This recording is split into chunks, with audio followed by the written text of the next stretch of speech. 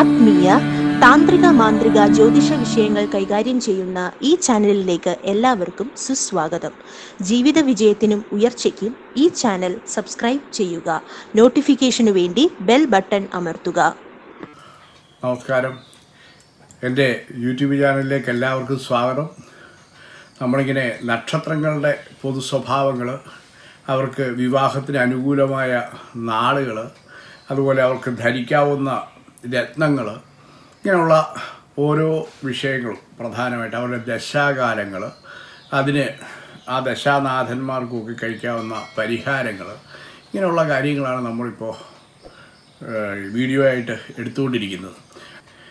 അപ്പോൾ ഇത് നമ്മൾ ഒരു പ്ലേലിസ്റ്റായിട്ട് പ്രത്യേകം നക്ഷത്രങ്ങളെ മാറ്റിയിടാനും അപ്പോൾ ഓരോരുത്തർക്കും അവരവരുടെ നക്ഷത്രങ്ങൾ നോക്കിയിട്ട് അതിന് വേണ്ടതായിട്ടുള്ള പരിഹാരങ്ങളൊക്കെ കഴിക്കാനുമുള്ള സാഹചര്യം ഉണ്ടാക്കാൻ വേണ്ടിയിട്ടാണ് നമ്മൾ പ്രത്യേകം പ്രത്യേകമായിട്ടുള്ള നക്ഷത്രങ്ങളുടെ വീഡിയോസ് എടുക്കുന്നത്. നമ്മൾ ഇന്ന് ഭരണി നക്ഷത്രത്തെക്കുറിച്ചുള്ള കാര്യങ്ങളാണ് പറയുന്നത്. അത് ഈ ഭരണി നക്ഷത്രക്കാർ സ്വന്തമായ ആദർശങ്ങളിൽ അടിയുറച്ച് വിശ്വസിക്കുന്ന ആൾക്കാരാണ്. അവർക്ക് ഈ ചെറുപ്രായം മുതൽ തന്നെ വളരെ മോശമായിട്ടുള്ള അനുഭവങ്ങളും അവർക്ക് നേരിടേണ്ടതായിട്ട് വരാറുണ്ട്. ആരെയും ശ്രദ്ധിച്ച് അപഗ്രഥിച്ച് പഠിച്ച് കാര്യങ്ങൾ കൂടുതൽ മനസ്സിലാക്കാനും അവ അനുസരിച്ച് അവരോട് സഹകരിക്കാനുമുള്ള ഒരു പ്രത്യേക കഴിവ് അവർക്കുണ്ട്. അതുപോലെ തന്നെ വിദ്യാഭ്യാസപരമായിട്ട് നേട്ടം ഉണ്ടാകുമെങ്കിലും മനസാക്ഷിക്ക് വിപരീതമായിട്ടുള്ള മറ്റുള്ളവരെ പ്രീണിപ്പിച്ചോ അല്ലെങ്കിൽ അവരെ സേവിച്ചിട്ടോ ഒക്കെ ഒന്നും നേടിയെടുക്കാൻ അവർക്ക് ശ്രമിക്കത്തേയില്ല. അതുപോലെ തന്നെ ഏത് വിധേനയും കാര്യം കാണാൻ അങ്ങനൊന്നുള്ള ഒരു ചിന്താഗതി അവർക്ക് ഉണ്ടാവത്തില്ല. എന്നാൽ അവരുടെ ബാഹ്യപ്രകൃതി ഒരു നമ്മൾ കാണുമ്പോൾ ഉള്ള ആ ഒരു സ്വഭാവം വെച്ചിട്ട് അവരുടെ ഒരു സ്വഭാവം നമുക്ക് അപഗ്രഥിക്കാൻ കഴിയത്തേ ഇല്ല എന്നുള്ളതിന് സംശയമില്ല. സ്വതവേ ഒരു ചെറിയ സംശയപ്രകൃതമുള്ള ആൾക്കാരാണ്. അവർക്ക് എന്തെങ്കിലും കാര്യങ്ങളൊക്കെ ഒരാളുമായിട്ട് സംസാരിക്കുമ്പോൾ അവർ വിചാരിക്കുന്ന ആ രീതിയിലായിരിക്കത്തില്ല അവർ ചിന്തിക്കുന്നത് അവർക്കൊരു പ്രത്യേകമായിട്ടുള്ളൊരു ചിന്താധാര. അവരുടെ അതിന്റെ വേറെ രീതിയിൽ തന്നെ അവർ ആ കാര്യം അപഗ്രഥിച്ചെടുക്കാൻ ബഹുമെടുക്കലാണ് അവർക്ക് അതുപോലെ തന്നെ എല്ലാ കാര്യങ്ങളിലും ഭൂമിയോളം താഴ്ന്ന ക്ഷമയൊക്കെ കാണിക്കുമെങ്കിലും ദേഷ്യം വന്നു കഴിഞ്ഞാൽ പിന്നെ സ്വന്തങ്ങളോ ബന്ധങ്ങളോ ഒന്നും നോക്കത്തില്ല. അത് വാക്കുകൊണ്ടായാലും പ്രവൃത്തി കൊണ്ടായാലും വളരെ കഠിനമായ പ്രതികരിക്കുന്ന സ്വഭാവം. അതും ഇവരുടെ ഒരു പ്രത്യേകമായ സ്വഭാവവിശേഷം തന്നെയാണ്. ഇവർക്ക് പൊതുവെ ജീവിതം ഗുണദോഷ സമ്മിശ്രമാകാനാണ് സാധ്യത. ഈ സ്വന്തം ഈ സ്വഭാവത്തെയോ അതുപോലെ തന്നെ വ്യക്തിത്വത്തെയൊക്കെ അപമാനിക്കുന്ന വിഷയങ്ങളൊക്കെ ഉണ്ടായിക്കഴിഞ്ഞാൽ ഇവർ പെട്ടെന്നങ്ങ് ക്ഷോഭിക്കും. ക്ഷോഭിച്ചു കഴിഞ്ഞാലും അതിന് അവർ ക്ഷമ പറയുകയൊക്കെ ചെയ്ത് കഴിയുമ്പോൾ അവർക്ക് അതിനോടൊരു സമാധാനം വന്നിട്ട് ആ വൈരാഗ്യമൊക്കെ മറന്നിട്ട് അവരോട് ആത്മാർത്ഥമായിട്ട് സഹകരിക്കുകയും ചെയ്യുക. അവരുടെ ഒരു സ്വഭാവമാണ്. അതുപോലെ ദാമ്പത്യ ജീവിതത്തിൽ അവർക്ക് സന്തോഷം നിറഞ്ഞ ഒരു ജീവിതമാണ് അവർക്ക് ലഭിക്കുക. ആദ്യകാലങ്ങളിലൊക്കെ ചിലപ്പോൾ ചെറിയ വിഷമങ്ങളൊക്കെ ഉണ്ടാകാമെങ്കിലും പൊതുവെ ഒരു സൗഖ്യമുള്ള ദാമ്പത്യ ജീവിതം സന്താനങ്ങളെ കൊണ്ടുള്ള തൃപ്തി. പിന്നെ അവർക്ക് പൊതുവിൽ ഈ പല്ലുകൾക്ക് അസുഖങ്ങൾ അതുപോലെ അർഷസിന്റെ അസുഖങ്ങൾ പിന്നെ ബി പി രക്തസമ്മർദ്ദം കൂടുക ബ്ലഡ് പ്രഷർ കൂടുക ഇങ്ങനെയൊക്കെയുള്ള രോഗങ്ങളൊക്കെ ഇവർക്ക് ഉണ്ടാകാനുള്ള സാധ്യതകളും ധാരാളമായിട്ടുണ്ട്. ഈ ഭരണി നക്ഷത്രക്കാർ ശുക്രദശയിലാണ് ജനിക്കുന്നതെന്ന് പറയും. അപ്പോൾ അത് ഇരുപത് വർഷമാണ് ഈ ശുക്രദശ. അപ്പോൾ ആദ്യത്തെ നക്ഷത്രത്തിന്റെ ആദ്യ ഭാഗത്ത് ജനിച്ചു കഴിഞ്ഞ് കഴിഞ്ഞാൽ അവർക്ക് ഇരുപത് വർഷവും തന്നെ ശുക്രദശ കൂടുതൽ വർഷങ്ങൾ അവർക്ക് ശുക്രദശ അനുഭവിക്കാനുള്ള ഇടയുണ്ടാവും. അതേസമയം അവസാന ഭാഗത്തിലാണ് ഭരണിയുടെ അവസാനത്തിലൊക്കെയാണ് ജനിക്കുന്നതെങ്കിൽ വളരെ കുറച്ച് മാത്രമേ ഈ ശുക്രദശ കിട്ടത്തുള്ളൂ. ഇവരുടെ ജീവിതത്തിലെ വളരെ അനുകൂലമായ ഒരു കാലം കൂടാണ് ഈ ശുക്രദശാകാലം. അപ്പോൾ അതുകൊണ്ട് ഈ കൊച്ചിലെയൊക്കെ വളരെ ആൾക്കാർക്ക് സ്നേഹവും കാര്യങ്ങളൊക്കെ ഈ കുഞ്ഞുങ്ങളോട് ഉണ്ടാകും ഈ ഭരണി നക്ഷത്രത്തിൽ ജനിച്ച കുഞ്ഞുങ്ങളോട് ഭയങ്കര സ്നേഹവും കാര്യങ്ങളും അവർ മറ്റുള്ളവരെ സന്തോഷിപ്പിക്കുന്ന കുഞ്ഞുങ്ങളായിരിക്കും. വഴക്കും വക്കാണങ്ങളൊന്നും ഉണ്ടാക്കുന്ന കുഞ്ഞുങ്ങളായിരിക്കത്തില്ല.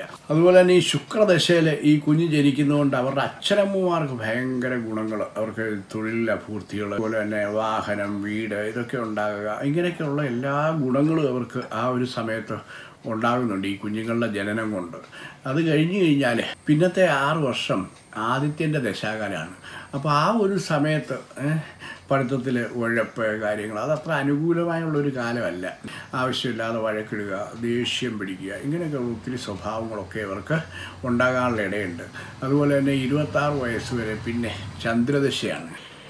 ഇവർക്ക് പൊതുവേ ഉന്നതി ഉണ്ടാക്കുന്ന ഒരു കാലമായിരിക്കും ഈ ചന്ദ്രന്റെ ദശാകാലം എന്ന് പറയുന്നത്.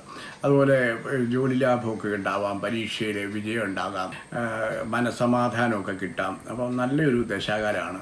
പിന്നെ മുപ്പത്തിമൂന്ന് വയസ്സ് വരെ ചൊവ്വയുടെ ദശാകാലമാണ്. ചൊവ്വായി അവർക്ക് വലിയ ദോഷമൊന്നും ചെയ്യത്തില്ല. ഒരുവിധം ഗുണം ചെയ്യുന്ന ഒരു കാലം തന്നെയാണ്. അപ്പോൾ അന്ന് ഈ വാഹന ലാഭവും ബന്ധുജനങ്ങളുടെയൊക്കെ സ്നേഹവും ഒക്കെ കിട്ടുന്ന ഒരു കാലമാണ്.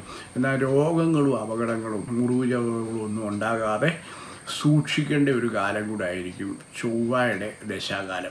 പിന്നുള്ള പതിനെട്ട് വർഷം രാഹുവിന്റെ ദശാകാലമാണ് ആ രാഹുവിന്റെ ദശാകാലങ്ങൾ അത്ര അനുകൂലമല്ലാത്ത കാലമാണ്.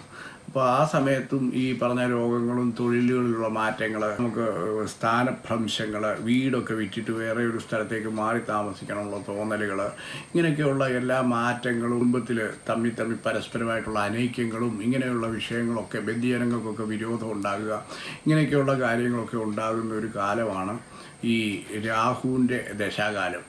അത് കഴിഞ്ഞുള്ള പിന്നെ പതിനാറ് വർഷം. അത് അവ- അവസാന പ്രായമായി കഴിഞ്ഞുള്ള ആ ഒരു കാലം വ്യാഴദശയാണ്. അപ്പോൾ അത് നല്ലൊരു അനുകൂലമായ ഗുണമാണ്. കാര്യം പറഞ്ഞാൽ പ്രായമായി കഴിഞ്ഞ് കഴിഞ്ഞാൽ മക്കളിൽ നിന്നൊക്കെയുള്ള സ്നേഹവും പരിചരണങ്ങളും ഒരു ആചാര്യ സ്ഥാനവും എല്ലാവർക്കും ബഹുമാനവും ഒക്കെ കിട്ടുന്ന ഒരു കാലം അവസാന കാലത്ത് കിട്ടുക അതൊരു വളരെ ഭാഗ്യമായ കാര്യമാണ്. അപ്പോൾ അങ്ങനെയുള്ള ഒരു ഗുണവും ഈ ഭരണി നക്ഷത്രക്കാർക്ക് പ്രത്യേകമായിട്ടുണ്ട്. അവരുടെ അവസാന കാലത്ത് ഈ വ്യാഴദശ വരിക. ഇവർക്ക് പൊതുവേ ഈ അനുകൂലമായിട്ടുള്ള തൊഴിൽ മേഖല എന്ന് പറയുന്നത് സംഗീതവും കലാകായിക വിനോദ മേഖലകളും അതുപോലെ തന്നെ ടി വി സീരിയൽ നിർമ്മാണങ്ങളും അഭിനയിക്കാനുള്ള കഴിവൊക്കെയുള്ള ആൾക്കാരാണ് അവർ അഭിനയവും സ്വർണാഭരണങ്ങൾ വ്യാപാരം തുടങ്ങിയിട്ടുള്ള ബിസിനസ്സുകളും കൃഷിയും പാത്രങ്ങളിലൂടെ തന്നെ മറ്റ് ഗ്രഹോപകരണ കൃഷി പാത്രങ്ങൾ മറ്റ് ഗ്രഹോപകരണങ്ങൾ ഓട്ടോമൊബൈൽ ആ, അതുപോലെ വസ്ത്രക്കച്ചവടം ഹോട്ടൽ ഭക്ഷണ കാര്യങ്ങൾ ഇതിലൊക്കെ അവർക്ക് ശോഭിക്കാൻ കഴിയും. ആശുപത്രിയിലും ആശുപത്രി സംബന്ധമായ തൊഴിലുകളും ഒക്കെ ഇവർക്ക് അനുയോജ്യമായിട്ടുള്ള ഒരു തൊഴിൽ മേഖലകളാണ്. ഇവർക്ക് ഏറ്റവും അനുകൂലമായ ദിവസം എന്ന് പറയുന്നത് ചൊവ്വായും വെള്ളിയുമാണ്. പിന്നെ ആറ് പതിനഞ്ച് ഇരുപത്തിനാല് തുടങ്ങിയ ഡേറ്റുകൾ അവർക്ക് അനുകൂലമായ ഡേറ്റുകളായിട്ടാണ് സംഖ്യാശാസ്ത്രത്തിൽ പറയുന്നത്. അതുപോലെ ചുവപ്പ് ഇളം നിറങ്ങൾ ഇതൊക്കെ അവർക്ക് വളരെയധികം ശോഭിക്കും. രത്നം ധരിക്കേണ്ടവർ വജ്രമാണ് ധരിക്കേണ്ടത്. ഭരണി നക്ഷത്രക്കാരുടെ ജന്മനക്ഷത്രക്കല്ലെന്ന് പറയുന്നത് വജ്രമാണ്. ഈ ഭരണി നക്ഷത്രത്തിലുള്ള സ്ത്രീകൾക്ക് വിവാഹം ആലോചിക്കുമ്പോൾ അശ്വതി ചോതി വിശാഖം തൃക്കേട്ട മൂലം ഉത്രാടത്തി മുക്കാൽ തിരുവോണം ശതയം പൂരുരുട്ടാതി രേവതി എന്നിട്ടുള്ള നാളുകൾ തിരഞ്ഞെടുക്കുന്നത് അവർക്ക് ചേരുന്ന നാളുകളാണ്. അതുപോലെ പുരുഷന്മാർക്ക് വിവാഹത്തിനായിട്ട് സ്ത്രീ നക്ഷത്രം നമ്മൾ തിരഞ്ഞെടുക്കുമ്പോൾ കാർത്തിക രോഹിണി തിരുവാതിര പുണർദം ആയില്യം മകം ഉത്രം അത്തം ചോതി വിശാഖത്തി മുക്കാൽ തുടങ്ങിയ നാളുകളൊക്കെ അവർക്ക് ചേരുന്ന നാളുകളാണ്. ഈ രോഹിണി തിരുവാതിര പൂയം വിശാഖം അനിഴം തൃക്കേട്ട എന്നീ നക്ഷത്രക്കാരുമായിട്ട് ഒരു കാരണവശാലും ബിസിനസ്സുകളോ മറ്റ് വിഷയങ്ങളോ ഒന്നും പാടില്ല.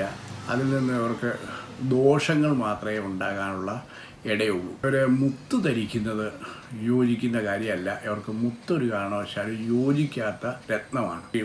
പരിഹാരങ്ങളായിട്ട് അതാത് ദശാകാലങ്ങളിൽ ആ ദശാനാഥനും അപഹാരനാഥനും ഒക്കെ വഴിപാടുകൾ കഴിക്കുന്നത് വളരെ ഉത്തമമാണ്.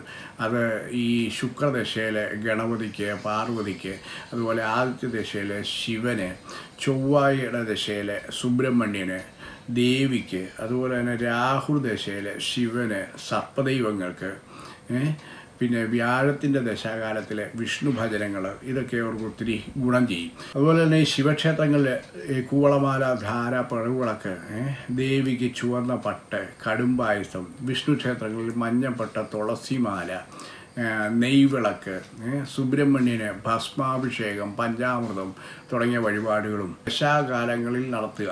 അതുപോലെ തന്നെ ശുക്രനെ പത്മമിട്ട് ഗ്രഹത്തിൽ വെച്ച് നമുക്ക് ശുക്രന്റെ പത്മമിട്ട് പൂജ നടത്തുകയും മൂർത്തിജോമം കഴിക്കുകയും അതുപോലെ തന്നെ ഗണപതി ഹോമത്തിൽ ഈ അശ്വാരൂഢ മന്ത്രം കൊണ്ട് താമര ഇളകൾ തേനിൽ മുക്കി ഹോമിക്കുകയൊക്കെ ചെയ്യുന്നത് കൂടുതൽ അഭിവൃദ്ധികരമായിട്ടുള്ള കാര്യങ്ങളൊക്കെ ഉണ്ടാക്കും. അതുപോലെ തന്നെ ഈ പാർവതീദേവിക്കൊക്കെ പൂജ കഴിച്ച് കനകധാര കൊണ്ട് പുഷ്പാഞ്ജലി കഴിപ്പിക്കുന്നതൊക്കെ വളരെ നല്ലതാണെന്നാണ് പറയപ്പെടുന്നത്.